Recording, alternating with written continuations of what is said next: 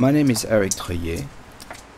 I run the bookshop called Books for Cooks in Portobello Road, Notting Hill in London, alongside with Rosie, my wife, or through mainly by myself as Rosie is looking after our small children. The shop was started in 1983 by Heidi uh, Lascelles, at a time when British cooking was just standing joke all over the world.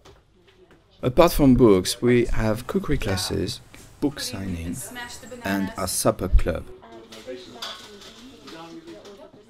Of course, we have our own test kitchen cafe where you find me and my chefs cooking new recipes from new cookbooks every day. It's, um, it's often like having all of your friends around for lunch and dinner. Hi, today at Books for Cooks we are having lentil and spinach soup and slow roast lamb baked with mushrooms and potatoes and lots of different cakes and pudding.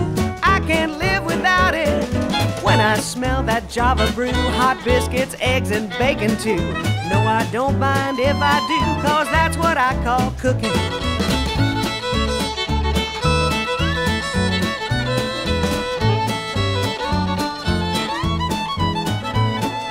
When I hear that swinging beat, it makes me wanna move my feet. Sounds so hot and feels so sweet. Now the band is cooking.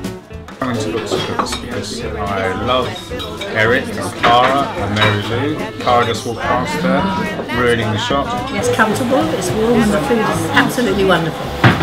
Thank you for spending some time with us at Books for Cooks uh, through the film. And I hope you enjoy your time watching the food, the books, what we do. I know it's a small place, but hopefully we see you again either here or on YouTube.